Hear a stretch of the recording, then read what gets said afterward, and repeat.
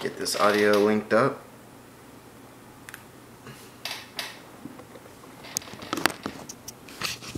What's up guys, my name is Roman Gonzalez. If you don't know who I am, I am a photographer, filmmaker, specializing in music videos and commercials. I worked all over the country, used to live out on my Prius, going state to state, just shooting cheap videos. Today, what I wanna do is just edit a couple of photos that I took last night. I ended up stuck out taking photos of like the moon and the clouds with my wide angle 15 to 30 Tamron that I have on here right now, just because it's all I had on me. I'll show you how I'm gonna chop up those photos. Definitely wanna do a more in-depth tutorial in the future on how I edit photos photos that have human subjects in it, different types of edits, you know, once you're starting to involve skin tones and different colors and color grades, it just gets a little bit different. So I'm definitely gonna do more of these tutorials, but for now, I'm just gonna chop up these few photos I took last night and let's see what I can do with them. I do not have two cameras on me. I'm turning you guys around, show you my screen, and show you how to how I edit these photos. Let's get it. Okay, once again, I apologize for the image quality, but this is just how I gotta do it right now. First thing I'm gonna do is I'm gonna make sure I'm up here so selected in library. I'm gonna go over here, I'm gonna hit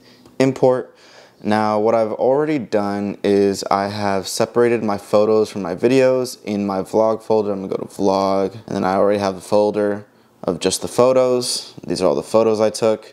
I tend to snap away a little bit. I just like to have a lot of options. You can go over here, click import. I took 41 photos. You can check out the vlog footage I got from this day as well. Link it right up there. After you have everything imported, you want to go from library, go over, click develop. That's going to bring up your develop tab. Here are my photos. There's only 40 of them. What I'll usually do is just kind of take a quick skim through, just delete any of them that I know I'm not going to want. Sometimes I delete the duplicates, sometimes I keep the duplicate so that I have an opportunity to maybe try something different with the edit. What I was trying to do is get some shots that I could maybe zoom in, zoom in on on the moon. The moon was looking insane. It had like it was like peeking through the clouds. It looked just like perfect, so cinematic. I was trying to get it, but it's hard with this wide angle. I really wish I had my 100 millimeter or at least a 50 millimeter on me, but I'm gonna see if I can salvage these. They still look pretty good. I took a bunch right here because this market is dope. I was trying to catch the moon behind it.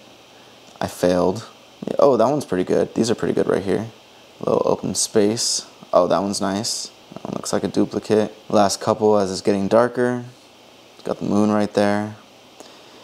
Ah, I really wish I had a longer lens, but it is what it is. We're gonna do what we can. And you know what? I'm shooting an all-I right now. Let me just switch it over to IPB so I don't run out of space on this card. Cool, I just switched over my codec from all-I to IPB.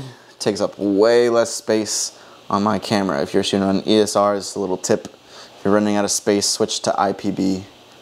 Some of you guys might already shoot IPB, but anyways, let's get the, okay, I'll keep these. These look decent. Now I'm ended, I've ended up with 28 photos. Now what I'll do, I'll go back to the beginning, start with the photos, and see we've got all these presets here on the left. These are built-in presets that are built into Adobe Lightroom. Pretty much any software that you're using to edit photos, anything similar to Lightroom is probably gonna have some presets there for you. Just like this, so you got natural, bright, high contrast, high contrast and detail, vivid, matte. Oh, vivid looks pretty cool. I really like, I really wanna make these colors pop because the colors were just popping so much, just like the reflection off the clouds and everything, it was, it was just beautiful. The evenings have been incredibly beautiful lately. It is late June and I live near Los Angeles. The one that I usually jump at is warm contrast. It just seems to be the most balanced for me. There's It's not like leaning too much to one color, but this looks really cool. It's really moody. And then you got these black and whites down here. You got defaults, whole bunch of cool presets down here. I never use these down here. I have one Ooh, my user preset looks kind of cool. I'm just to start with what I normally start with and go with this warm contrast. Usually I'll play with the color temperature a little bit. It goes from blue all the way to orange. I want to find that happy medium where I'm still getting some colors in the clouds, some colors in the sky. It goes all the way up to 50,000, all the way down to 2,000. Put it at about 5,000, 5,127. I think that looks good. I'm gonna mess with the exposure. And if you don't know what to do with these dials and try to zoom in a little bit more. If you don't know what to do with these dials, the best way to figure out what looks best is just to play with them. Just run it all the way back or all the way up. Take it back slowly until you find that perfect mark that you like. So I'm just gonna mess with all these dials. Just mess with all of them so you can have a good understanding of what each adjustment is going to do. And then you'll get kind of get the hang of what you like. Sometimes I like to crush the blacks, sometimes I like to push them up. It really just depends on the environment. As far as texture, clarity, dehaze, again, it's going to depend on the style. Sometimes I like to bump that texture up, get, I mean, I'm sorry, bump up the clarity. Sometimes I like to actually bump the clarity down a little bit and push the texture up. Pretty much always what I do is I bring the saturation down and I push the vibrance up. It just gives it that little little kick of color. I'm pretty happy with how this is coming out, but I'm not super happy. I'm gonna work on the curves a little bit. Usually try to see if um, bringing this down at all will make a difference. I mean, it definitely does.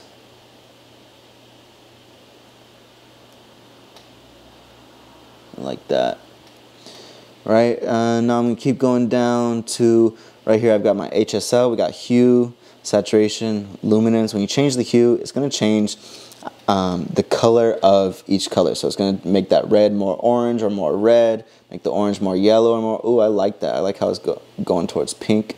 When I change the orange like that, ooh, I like that pink.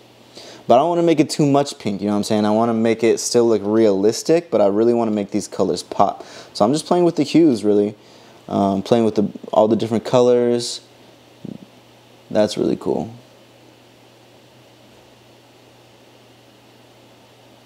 That's really cool. Saturation, I think I like all these. Maybe bump up the saturation a little bit on the blues. See, I thought this was pink, but I guess it's orange. Uh, I, I'm, I'm assuming, oh, I like when I push up the yellows, how that looks. And that looks pretty good. It's a little bit maybe over too much vibrance or satch. It's a little unrealistic. Just pull that saturation back a little bit. And go back next with the highlights and exposure a little more. That's that's pretty much it. I'm I'm pretty happy with this. I can't say it looks exactly. I'm, it's not exactly where I want it to be, but I'm not sure it, what's missing. To be honest with you, might just be missing some better a better subject, better composition. Um, but I'm gonna go ahead and wrap this photo up. Going to straighten this out a little bit. I plan on sticking with the same vibe for the rest of these edits. So what I'm gonna do is just go ahead and hit Command C, which is going to be the copy shortcut. And right here, I can select which settings that I would like to copy. Pretty much gonna select all of them except for any crop transformation or anything like that. So I'm gonna hit copy, just go to the next photo, and I'm gonna hit Command V which is going to add the same exact edit. Um, if I hit Command Z to undo, you can see what it looked like before. And then Command Shift Z to redo. Brings up a little bit of light. I'm gonna bring these highlights down. Ooh, if, when I bring the highlights down, it really makes those clouds pop. That's something that I didn't do before. I'm going off of the same base edit as the last one, but I'm still adjusting a little bit as needed. I do like pushing that up. That's looking pretty sweet to me. And I think I'm gonna leave it like that. Maybe mess with the curves a little bit. Maybe I don't like this much pink in the clouds. It's a little unrealistic. Leave a little bit. Luminance is something I haven't messed with. See, look at that luminance on the reds.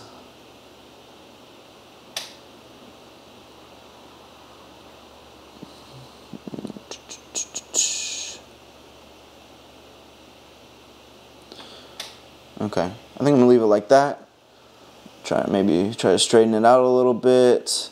What I'm doing is I'm looking at these poles. I'm looking for any straight lines, horizontal or vertical, and I'm trying to match that up with the box right here so that it ends up looking straight. Sometimes I'm, I'll match a horizontal line and it'll, see oh, I'm matching this horizontal line but it makes the vertical line go off. That's just because it's a wide angle because of how I'm shooting it. But you just want to, you know, get it as close as possible to have an even photo. I want these lines to be straight. I think that looks best to me right there. Now that I made a new edit, what I'm usually going to do is copy that edit. If I made changes, move on to the next one. A little bright, just lower that like that. Straighten it out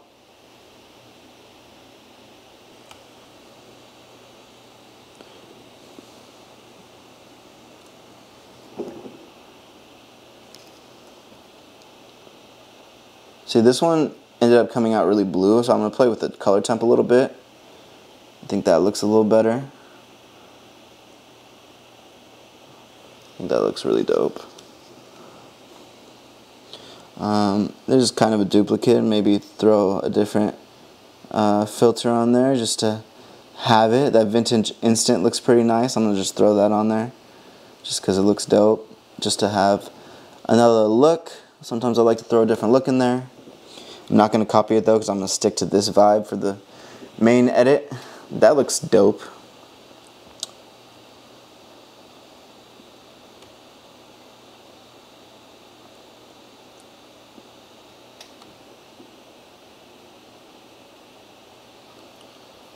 I'm just going to crop this a little bit to make the subject more apparent. Oops. If I hold down shift while I make it smaller, is going to keep the same proportions. That's pretty cool.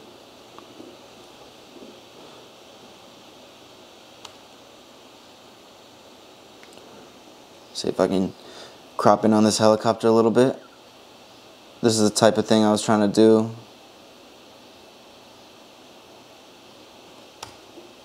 That's dope. Damn, that and that's on a wide angle. That's solid. That's 30 millimeters right there. I'm loving the quality of these new cameras. You can get so much quality out of it. I really want to keep this photo, but it really doesn't look great. I'm gonna be honest. Maybe if I make it like a horizontal photo.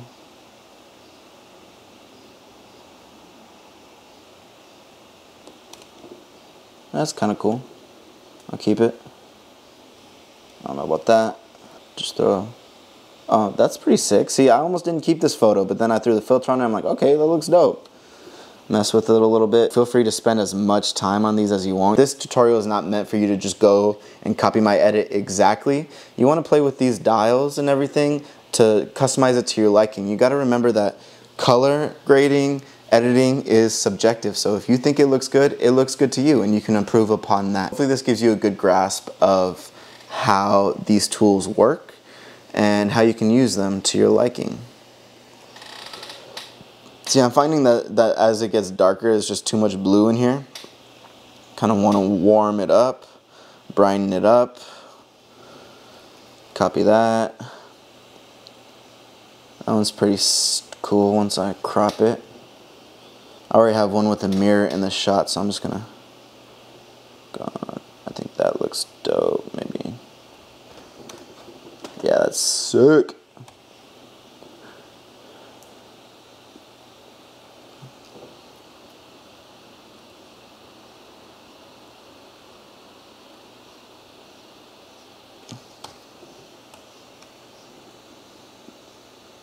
That's alright, that's kind of cool, I guess. I think what I was trying to do with this was just crop in on the telephone pole. But I think I like how it looks like this. Maybe just bring it in like that. That's pretty cool. And then there's that moon I was trying to get. See what we can get here. Throw it right in the middle. Damn. That is the shot I was trying to get, but I was trying to get it when the clouds were positioned differently. I couldn't get it from where we were at the time, so I'm pretty bummed about that. But you know what? It is what it is. I still was able to get some decent content. Still able to help you guys grow. And yeah, I don't think this one is gonna help much. I'll just leave that one like that. Looks kind of cool. This is really dark. Brighten it up a bit. Crop out the dashboard. Nice, nice, nice. Coming along. Almost done. I'm finishing these up. I'm good on these. I don't think they're super salvageable. That's kind of cool. Just gonna crop this part out. I don't know what I would ever do with that, but whatever. Okay, so now what I'm gonna do is I'm gonna go ahead and hit shift and hit my left arrow key. I'm gonna highlight all 23 of these photos I've just edited. And what I'm gonna do is I'm going to go up to file, export. Um, it's gonna bring up these options. Actually, I've been forgetting to do this. I've been I've been exporting all my photos at like mid-range quality, but I'm move this quality dial. It's because I updated my Lightroom app. I forgot to do this, but I'm gonna upgrade that quality uh, level up to 100. I'm gonna keep the image for format JPEG is what I wanna export as, and the color space sRGB. Um, now the specific folder I'm gonna put it in is the folder where I have all the original photos as well as the videos from that day. Um, it's not this folder here. I'm gonna choose the correct folder. Here, first workout vlog, photos, choose that, and then I'm gonna put it in edited subfolders so that they're separated from the RAWs, and hit export. And we are off. Exporting 23 files. Go, go, go. Go, go, go. Go, go, go. All right, it's taking forever. We'll go ahead and turn y'all around.